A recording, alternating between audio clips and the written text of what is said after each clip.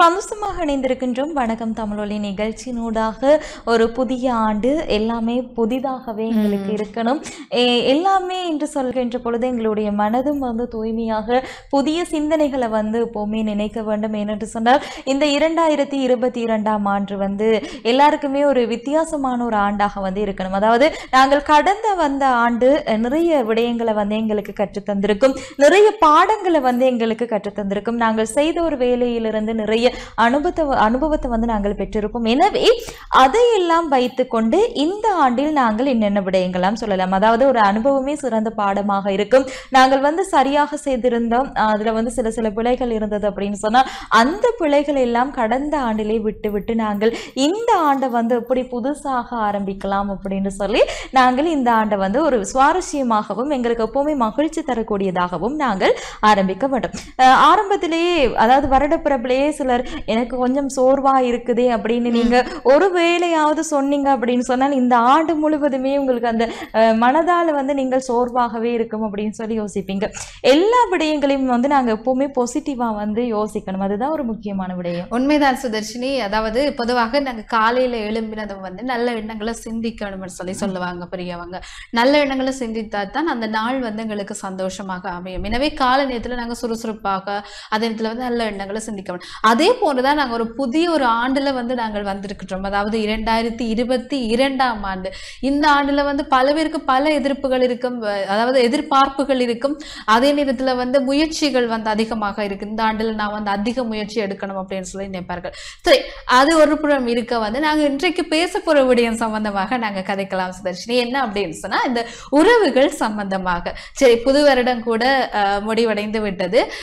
எனவே நீங்க வந்து சுதர்ஷினி இப்போ புது வருடத்துல வந்து யார் யார் வீட்டெல்லாம் போயிருக்கிறீங்க?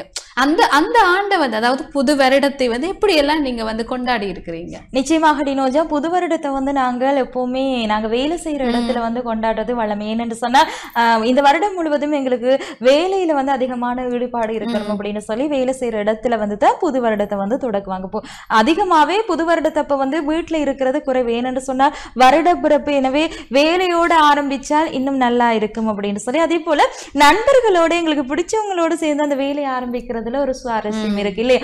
அதாவது இரவிரவாக வந்து கண் விழித்து இருந்து சரியாக அந்த நள்ளிரவு பன்னிரண்டு மணிக்கு எல்லாருக்கும் வந்து வாழ்த்து தெரிவிச்சு அது ஒரு. சுவாரஸ்யமான ஒரு அனுபவமாக கூட இருக்கும். உண்மைதான்?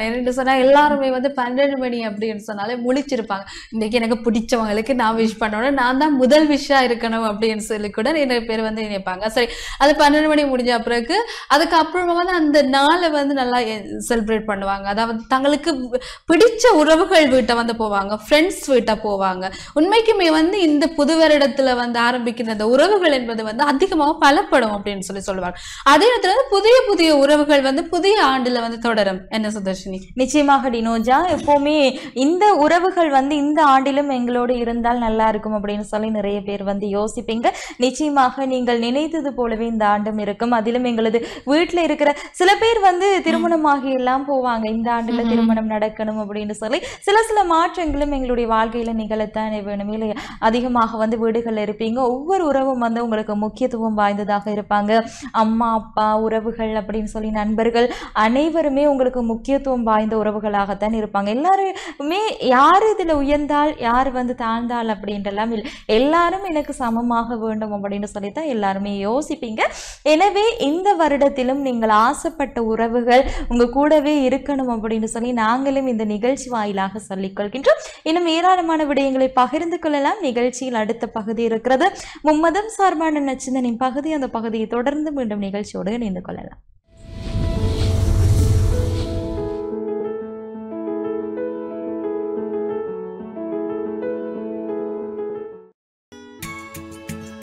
டான் தமிழொலியில் புத்தம்புது நிகழ்ச்சிகளை உடனுக்குடன் பார்த்து மகிழ. எமது ஃபேஸ்புக் மற்றும் யூடியூப் பக்கத்தை லைக் செய்யுங்கள்.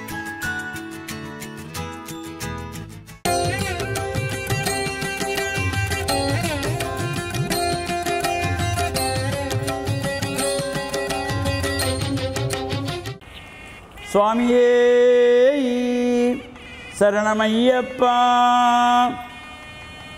கார்த்திகையில் மாலையிட்டோம் சுவாமி ஐயப்பா நாங்க கடும்பிரதம் இருந்து வந்தோம் சரணமையப்பா. நேற்றியாக நோம்பிருந்தோம் சுவாமி ஐயப்பா நேற்றியாக நோம்பிருந்தோம் சுவாமி ஐயப்பா எம்மை கீர்த்தியுடன் வாழ வைப்பாய் சரணமையப்பா. எம்மை கீர்த்தியுடன் வாழ வைப்பாய் சரணமையப்பா. கார்த்திகையில் மாலையிட்டோம் சுவாமி ஐயப்பா. நாங்க கடும்பிரதம் இருந்து வந்தோம் சரணமையப்பா. கல்லும் முள்ளும் குத்தவில்லை சுவாமி ஐயப்பா.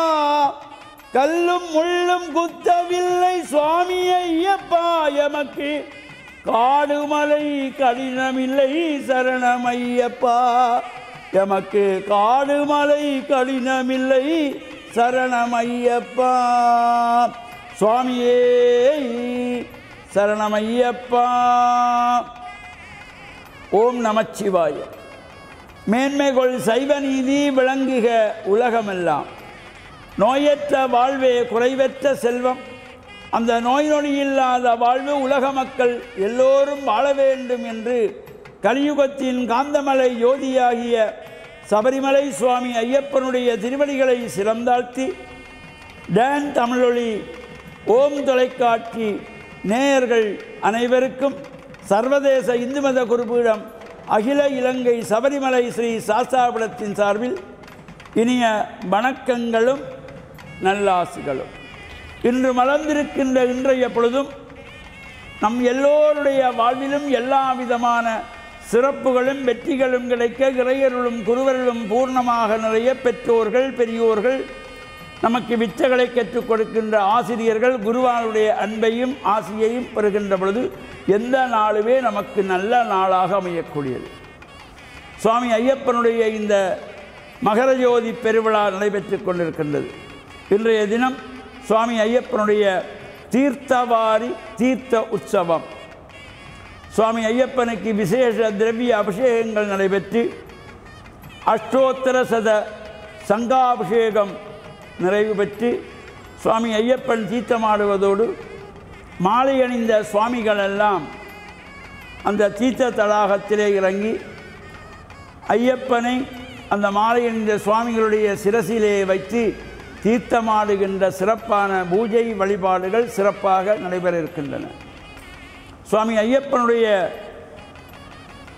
விரத மாலை அணிந்து கடும் விரதமிருந்த அடியவர்களெல்லாம் மலை யாத்திரைக்கு சென்று கொண்டிருக்கின்றார்கள். சுவாமி தரிசனம் நடைபெற்று கொண்டிருக்கின்றது. சபரிமலையிலே அடியவர்களெல்லாம் கூட்டங்கூட்டமாக இருமுடி சுமந்து காடுமலை கடந்து மலை யாத்திரைக்கெல்லாம் சென்று கொண்டிருக்கிறார்கள். இந்த ஐயப்பனுடைய விரதமானது ஒரு சிறப்பு வாய்ந்தது. மனிதனை புனிதனாக்குகின்ற ஒரு உன்னதமான விரதம் இந்த ஐயப்ப விரதம். இந்த ஐயப்பனுடைய விரதத்திலே உயர்ந்தவர் தாழ்ந்தவர் படித்தவர் படிக்காதவர் ஏழை பணக்காரன் என்ற பாகுபாடுகள் கிடையாது. எல்லோரும் கருப்பு ஆடை அணிந்து கழுத்தில் மாலை அணிந்து முகச்சவரம் செய்து கொள்ளாமல் இவ்வாறு சந்நியாச கோலத்திலேயே இந்த விரதானுஷ்டானங்கள் எல்லாம் ஈடுபட்டு இருமுடி சுமந்து காடுமலை கடந்து அங்கே காணுகின்ற நதிகளிலே எல்லாம் தீர்த்தமாடி ஐயனை தரிசிப்பதற்கு பதினெட்டு படிகள் ஏறி சுவாமி ஐயப்பனுக்கு நெய்யபிஷேகங்கள் வருகின்ற சிறப்பான பூஜை வழிபாடுகளெல்லாம் உலகளாவிய ரீதியிலே நடைபெற்று கொண்டிருக்கின்றது. அகில இலங்கை சபரிமலை சாஸ்தாபுரத்திலும் இந்த நாற்பதாவது ஆண்டாக இந்த பூஜை வழிபாடுகளே இன்றைய தினம் தீர்த்தவாரி உற்சவம் சிறப்பாக நடைபெறுகின்றது. ஐயப்பனுடைய திருவருள் உலக மக்கள் எல்லோரும் பெற வேண்டும்.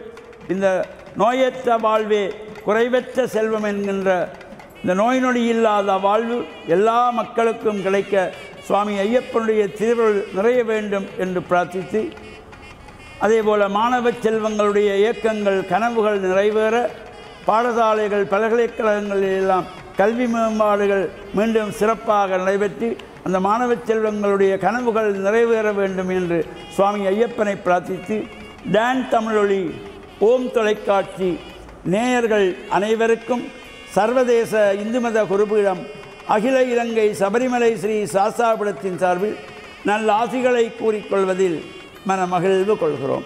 சர்வே ஜனாக சுகினோ பவந்து சமஸ்த சன்மங்களானி சந்த். சுபம்.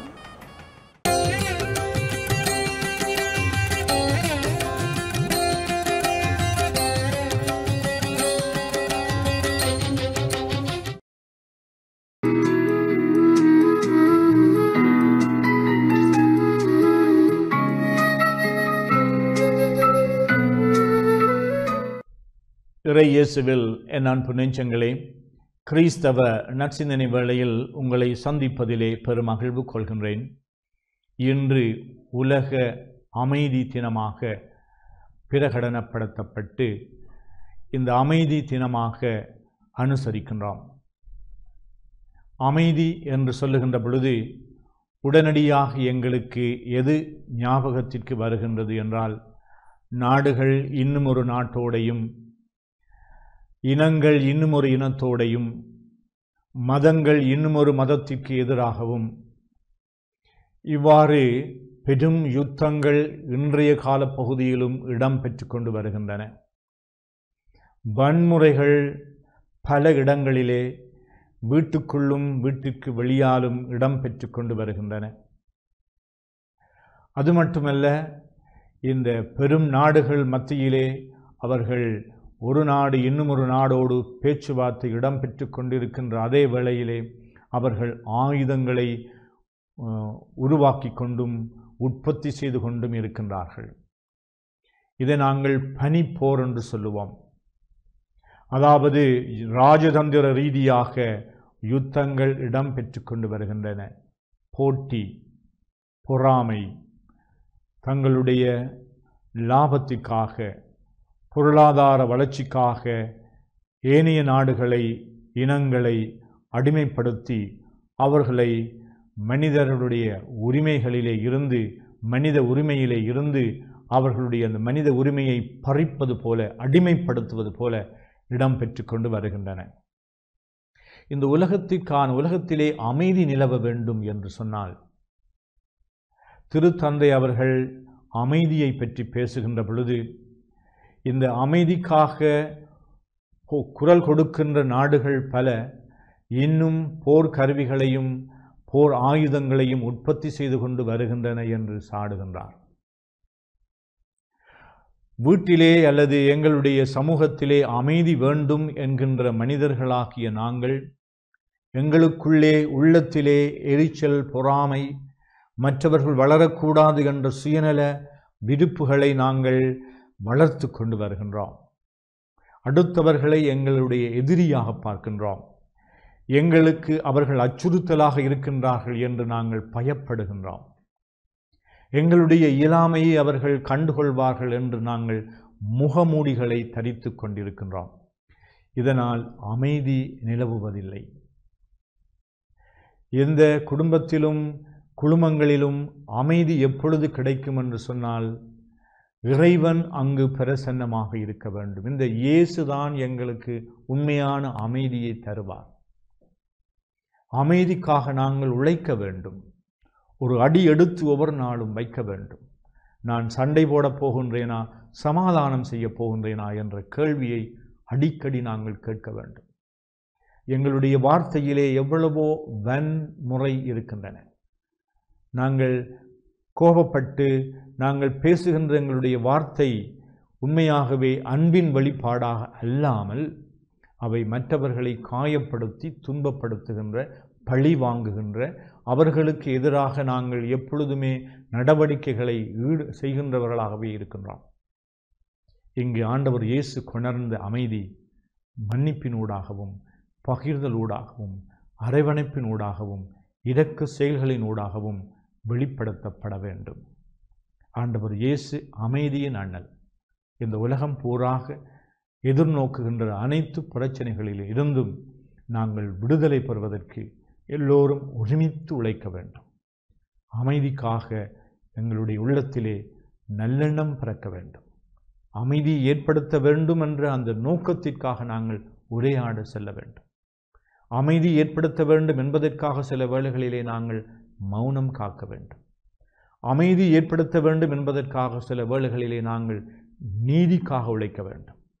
இவ்வாறு எங்களுடைய வாழ்வில் நாங்கள் அமைதியை விரும்புகின்றவர்களாக அமைதியை ஏற்படுத்துகின்றவர்களாக அமைதிக்காக உழைக்கின்றவர்களாக வாழ வளர இறைவன் எங்களுக்கு ஆசீர் தருவாராக ஆமேன்.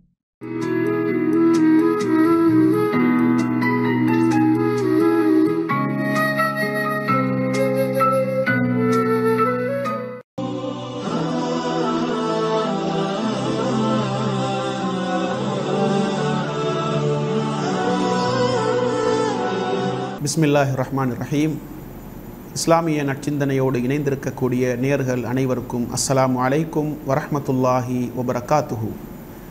இன்றைய இஸ்லாமிய நற்சிந்தனையில் ரசூலுல்லாய் சல்லல்லாஹ் அலுவலம் அவர்கள் மனித சமூகத்திற்கு அறிமுகப்படுத்திய நீதி கொள்கை நேர்மை கொள்கை என்பதை மிகச் சுருக்கமாக உங்களோடு பகிர்ந்து கொள்ளலாம் என்று ஆசைப்படுகின்றேன். ரசூலுல்லாய் சல்லல்லாஹ் அலுவலம் அவர்கள் மனித சமூகத்தில் அல்லாஹ்வுடைய தூதராக அறிமுகம் செய்யப்பட்ட காலத்திலிருந்து மரணிக்கின்ற வரைக்கும் நீதிநெறி தவறாமல் நேர்மை என்றால் என்ன என்பதை மனித சமூகத்திற்கு தனது நடவடிக்கைகளின் ஊடாக உணர்த்தக்கூடிய பக்குவமிக்க ஒரு தலைவராக இந்த மண்ணில் வாழ்ந்து காட்டினார்கள். நீதி நேர்மையை நிலைநாட்டுவதில் இஸ்லாமிய மார்க்கம் முன்னணியில் இருக்கின்றது என்பதை நாங்கள் புரிந்து கொள்ள வேண்டும். கருப்பர் வெள்ளையர்களுக்கு மத்தியில் எந்த வித்தியாசமும் கிடையாது. உயர்ந்தவன் தாழ்ந்தவன் என்ற பாகுபாடு கிடையாது. பணக்காரன் ஏழை என்ற வேற்றுமைகள் இஸ்லாத்தின் கண்ணோட்டத்தில் இருக்க முடியாது. என்பதைத்தான் இந்த தீனுல் இஸ்லாம் தனது சட்டதிட்டங்களின் ஊடாக மனித சமூகத்திற்கு கற்றுக் கொடுக்கின்றது. ஒரு மனிதன் குற்றமிழைத்து விட்டால் அந்த மனிதன் எந்த நிலையில் இருக்கக்கூடியவனாக இருந்தாலும் சரி எந்த குடும்ப பின்னணியோடு வாழக்கூடியவனாக இருந்தாலும் சரி எப்படிப்பட்ட உயர்நிலையில் வைத்து மதிக்கப்படுகின்ற மனிதனாக இருந்தாலும் சரி குற்றவாளியை குற்றவியல் சட்டத்திற்கு முன்னால் நிறுத்த வேண்டும் என்பதில் இஸ்லாம் ஒரு தெளிவான கோட்பாட்டோடு இந்த மனித சமூகத்திற்கு அறிமுகப்படுத்தப்பட்டது. அதனை உணர்த்தும் முகமாக ரசூலுல்லாய் சல்லல்லா அலுவலனுடைய காலத்திலே மிகச்சிறந்த உயர்த்தி மதிக்கப்பட்ட ஒரு குடும்பமாகிய மஹ்சூமியா கோத்திரத்தைச் சேர்ந்த ஃபாத்திமா என்ற ஒரு பெண்மணி திருடிய சம்பவம் அரங்கேறுகின்றது. இந்த வழக்கு நபிகளாருடைய விசாரணை மன்றத்திற்கு கொண்டு வரப்பட்டு நபி அவர்கள் அதை விசாரிக்கின்றார்கள். அந்த விசாரணையின் பின்னணியில் ஃபாத்திமா என்ற பெண்மணி குற்றவாளி என்பது நிரூபிக்கப்படுகின்றது. எனவே இஸ்லாத்தின் கண்ணோட்டத்தில் ஒரு மனிதன் திருடிய நிகழ்வு உறுதிப்படுத்தப்படுமாக இருந்தால் திருடியவனுடைய கரம் துண்டிக்கப்பட வேண்டும் அவனுக்கு கரச்சேதம் செய்யப்பட வேண்டும் என்பது இஸ்லாத்தின் குற்றவியல் சட்டமாக இருக்கின்றது. அந்த வகையில் அந்த பெண்மணிக்கு கரச்சேதம் செய்யப்பட வேண்டும் வலது கை மணிக்கட்டோடு துண்டிக்கப்பட வேண்டும் என்ற அந்த சட்டம் பிரகடனப்படுத்தப்படுகின்றது. அந்த நேரத்திலே நபி அவர்கள் மிகவும் நேசிக்கக்கூடிய ஒரு நபித்தோழராகிய உசாமா ஹதியல்லாஹு அன்ஹு அவர்கள் நபிகளாரிடத்திலே வந்து பேரம் பேசுகின்றார்கள். நபிகளாரிடத்திலே வந்து அல்லாவின் தூதரே இந்த பெண்ணை பொறுத்தவரைக்கும் ஒரு உயர் குலத்து பெண்மணி. எல்லோரும் மதிக்கக்கூடிய குடும்பத்தைச் சேர்ந்த ஒரு பெண்மணி. எனவே அந்த பெண்ணுக்குரிய தண்டனையை எல்லோருக்கும் கொடுப்பதை போன்று நீங்கள் கொடுத்தால் குடும்ப மரியாதை குடும்ப மானம் இல்லாமல் போய்விடும்.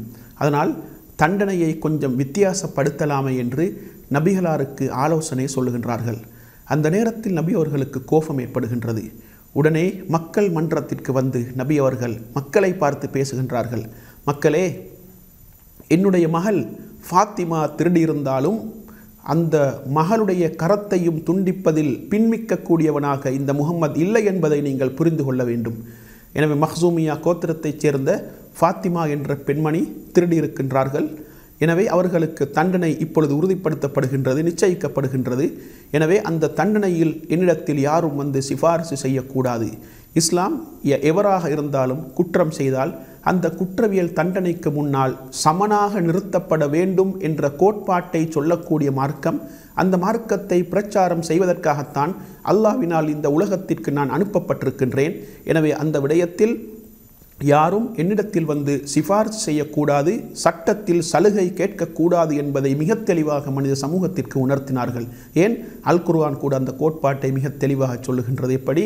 வலா எஜ்ரி மன்னக்கும் சன ஆனு கௌமின் அலா அல்லா த அதிலு ஏ அதிலு ஹூ அக்ரபுலி தக்குவா ஒரு சமூகத்தின் மீது உங்களுக்கு இருக்கக்கூடிய வெறுப்பு உங்களுக்கு இருக்கக்கூடிய அந்த குரோதம் அவர்களுக்கு மத்தியில் நீதியாக நேர்மையாக நடப்பதை விட்டும் உங்களை தடுக்கக்கூடாது.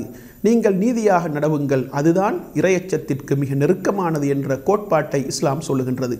எனவே இந்த உலகத்திலே குற்றவாளி யாராக இருந்தாலும் சரி எந்த மதத்தைச் சேர்ந்தவனாக இருந்தாலும் சரி எந்த உயர் குலத்தைச் சேர்ந்தவனாக இருந்தாலும் சரி குற்றவாளி தண்டனைக்கு முன்னால் சட்டத்திற்கு முன்னால் நிறுத்தப்பட வேண்டும் என்பதில் இஸ்லாம் மிக தெளிவான ஒரு கோட்பாட்டை எங்களுக்கு சொல்லுகின்றது.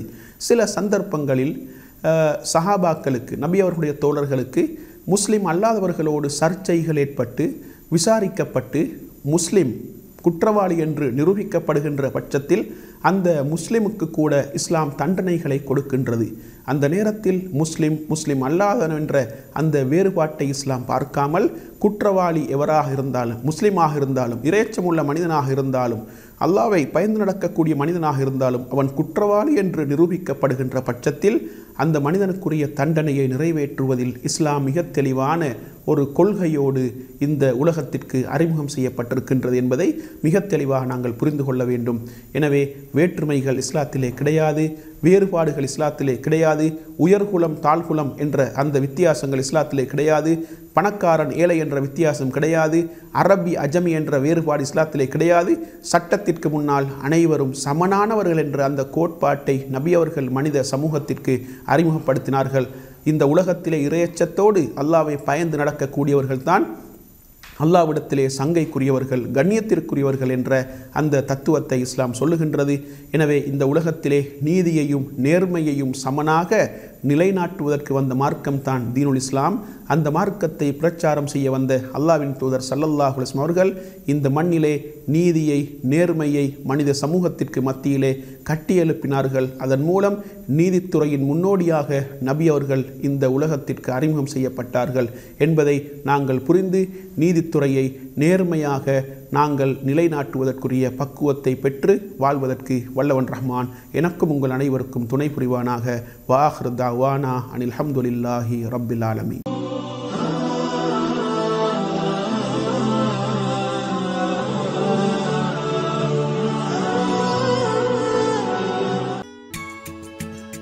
டான் தமிழொலியில் புத்தம்புது நிகழ்ச்சிகளை உடனுக்குடன் பார்த்து மகிழ எமது ஃபேஸ்புக் மற்றும் யூடியூப் பக்கத்தை லைக் செய்யுங்கள்.